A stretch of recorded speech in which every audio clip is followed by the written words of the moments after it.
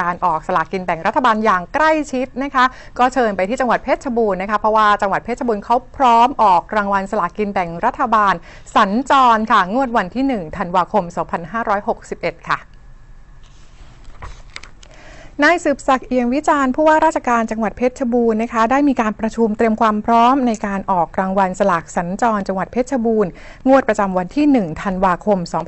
2561 นะคะ โดยมีผู้แทนสำนักงงานสลากกินแบ่งรัฐบาลหัวหน้าส่วนราชการที่เกี่ยวข้องตำรวจเนี่ยเข้าร่วมประชุม เพื่อเป็นการเตรียมความพร้อมในทุกๆ ด้านนะคะเพื่อให้การออกสลากเป็นไปอย่างโปร่งใส แล้วก็มีความผิดพลาดในการออกสลากเป็นศูนย์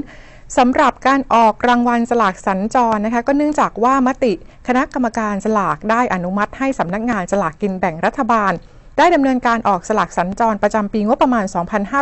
2562 จำนวน 4 จังหวัดนะคะ ก็ประกอบไปด้วยจังหวัดเพชรบูรณ์งวดวันที่ 1 ธันวาคม 2561 จังหวัดพัทลุงงวดวันที่ 1 มีนาคม 2562 จังหวัดฉะเชิงเซางวดวันที่ 1 มิถุนายน 2562 และจังหวัดชัยภูมินะคะ งวดวันที่ 1 กันยายน 2562 และในส่วนของจังหวัดเพชรบูรณ์นะคะ เป็นจังหวัดแรกที่ได้ดำเนินการออกสลากสัญจรกำหนดให้มีการออกสลากที่หอประชุมศูนย์ราชการจังหวัดเพชรบูรณ์นะคะ เนื่องจากว่าเป็นสถานที่ที่มีความพร้อม ทั้งในเรื่องของที่จอดรถ สามารถรองรับประชาชนได้นะคะ แล้วก็มีมาตรฐาน ISO ด้วย โดยการออกสลากสัญจรก็ได้กำหนดให้มี การถ่ายทอดผ่านทางโทรทัศน์นะคะ ทางไทยรัฐทีวี สปริงนิวแล้วก็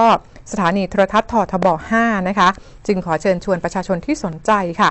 ร่วมชมการออกรางวัลสลากกินแบ่งรัฐบาล เพื่อรับชมขั้นตอนแล้วก็วิธีการออกรางวัลว่าเป็นไปอย่างโปร่งใส ในวันที่ 1 ธันวาคม 2561 ที่หอประชุมศูนย์ราชการจังหวัดเพชรบูรณ์ค่ะ เป็นอำนาจของเดินผ่านเข้ามาตรงนี้ใช่ไหมคะนะคะ แต่ทีนี้ ที่เราที่เราเห็น